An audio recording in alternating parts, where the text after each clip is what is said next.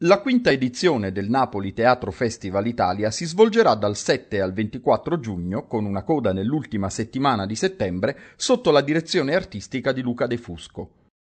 Notevole l'apertura al Teatro Mercadante con The Macropolis Case di Bob Wilson, dall'omonima drammaturgia di Karel Čapek.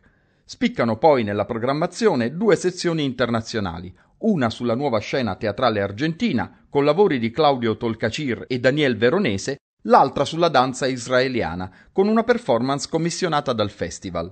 Ancora due lavori di rilievo assoluto concluderanno la fase estiva, Wonderland di Matthew Lanton e The Suit con l'adattamento e la messa in scena e in musica di Peter Brook.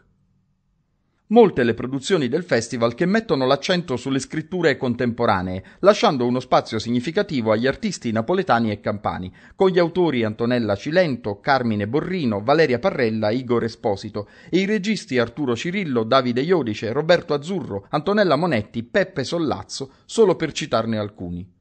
Nella chiusura di settembre ci saranno anche due prime assolute di Antonio Latella, C'è del pianto in queste lacrime, ispirato a lacrime napolitane, ed Enzo Moscato con la scrittura Ta Caità.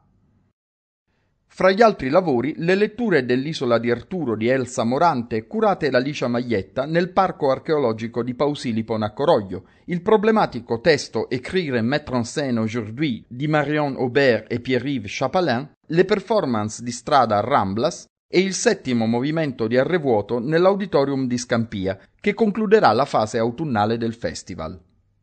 La programmazione degli spettacoli sarà anticipata da un concerto straordinario della cantante israeliana Noah il 6 giugno al Teatro San Carlo.